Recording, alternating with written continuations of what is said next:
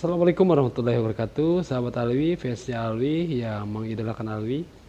Pada konten kali ini saya akan membahas untuk penampilan Alwi yang kedua di acara KDI malam ini. Nah, berbeda dengan uh, penampilan Alwi pada acara KDI beberapa waktu yang lalu Untuk malam ini kita cukup puas ya karena uh, dari sisi ya dari sisi panggung Alwi dari depan kelihatan jelas, kemudian dari samping juga kelihatan jelas, eh, dari kiri panggung, dari kanan panggung juga kelihatan jelas. Nah, beda dengan eh, beberapa waktu yang lalu dan bukan hanya saya ya, bukan hanya saya yang melihat bahwa ada sesuatu yang mengganjal ya dalam penglihatan saya ketika itu. Karena ketika joget bareng itu Alwiansa posisinya terlindung, ya terlindung. Padahal yang namanya uh, manggung ya show di atas panggung itu hanya beberapa menit ya. Sehingga momen beberapa menit ini memang harus uh, harus dimaksimalkan ya. Seperti joget bareng pada waktu itu. Saya melihat memang uh, Alwi ini kok kayaknya terlindung ya. Ada yang mengganjal menurut saya ya waktu itu.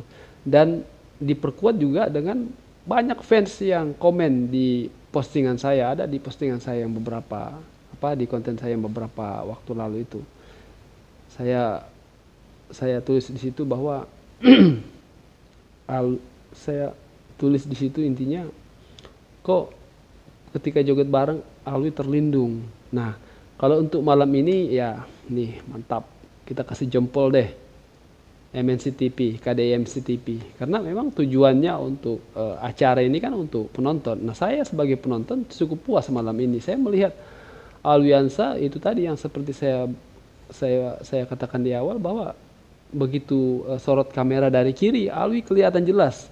Sorot kamera dari depan Alwi kelihatan jelas. Sorot kamera dari sisi yang lain juga kelihatan jelas. Nah begitu Alwi diarahkan ke belakang nah, ini luar biasa. Kenapa? Karena Alwi di di apa namanya uh, digotong ya mungkin istilahnya digotong ya digotong pakai tandu. Nah ini kan lebih keren lagi. Artinya kalau memang e, bisa seperti itu kan justru menambah suasana.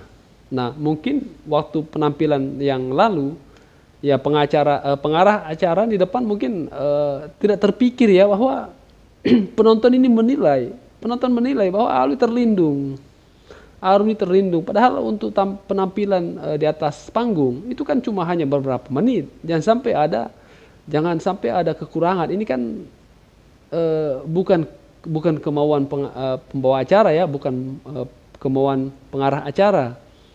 Tetapi ya mungkin ada ke apa namanya? ya katakanlah kehilapan di situ ya. Jadi kita tentunya sebagai penonton mengingatkan bahwa ada sesuatu yang mengganjal di mata penonton dan itu harus dikoreksi dan alhamdulillah malam ini kita cukup puas dengan penampilan Aliansa dari sisi uh, dari sisi uh, posisi dia di atas panggung.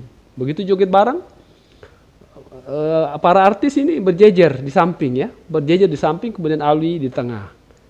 Begitu Alwi di tengah agak posisinya di depan. Kenapa Alwi harus di depan? Ya karena dia kecil Seandainya tadi mungkin Alwi kayak Ivan Gunawan, ya biar dia di belakang tetap kelihatan mau disorot dari mana juga ya mungkin karena postur tubuhnya Ivan Gunawan ini kan besar.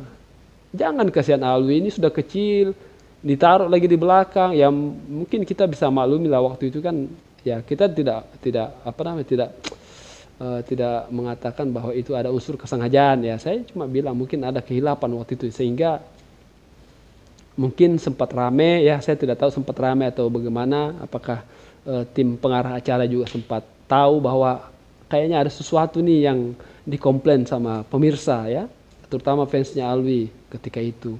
Sehingga ya malam ini luar biasa sekali lagi. MNC TV KDM MNC TV untuk Alwiansa top top Marco top. Posisi Alwiansa di depan di tengah dan terlihat jelas mau disorot kamera dari kiri kanan depan kelihatan Begitu Alwi digiring ke belakang, dia ditandu di atas panggung, justru lebih kelihatan jelas. Nah ini kan lebih mantap. Jadi uh, kita sebagai penonton juga puas ya, karena ya itulah namanya juga hiburan.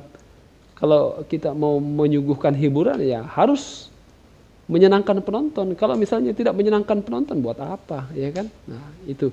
Oke, terima kasih sahabat-sahabat sekalian. Kita jempol untuk KDM CTP malam ini untuk Alwiansa. Saya yakin tidak ada lagi komplain-komplain seperti yang lalu-lalu itu. Oke, kita ketemu lagi di video selanjutnya. Wassalamualaikum warahmatullahi wabarakatuh.